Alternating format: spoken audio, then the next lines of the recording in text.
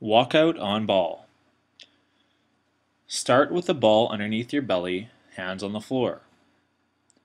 From this position, slowly walk yourself out as far as you can comfortably, and then walk yourself back.